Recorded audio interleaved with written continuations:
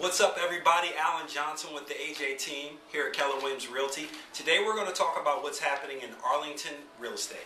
So, what I like to do is once a month, I look at the stats, I really bury a little bit into the stats so we can make sure that our clients are ahead of the market instead of being behind the market.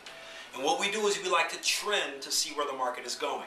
So, in Arlington, two numbers that I like to look at. First of all, the average sold price. Average sold price from this from from this month to from from this month this year to this month last year is up one percent. All right, so that means the market is is, is, is really calming down a little bit in Arlington. So understand, calm in Arlington is is vigorous in other counties. So, but it is starting to be a little bit different than it was, you know, over the past two years, where it was a very, very, very competitive market. Now, let's not get it let's not get it twisted. It is still a very competitive market because it's still Arlington.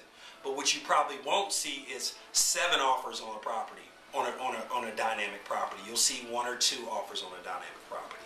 Um, also, average days on the market is up 17%. That is also a number that tells us that the market is starting to calm down a little bit in Arlington, which I think and a lot of people think is a very healthy, healthy thing.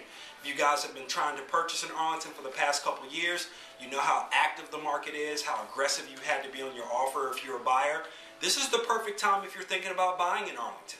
This is the perfect time for you to get out there and get into a market that isn't as competitive as it was two or three years ago.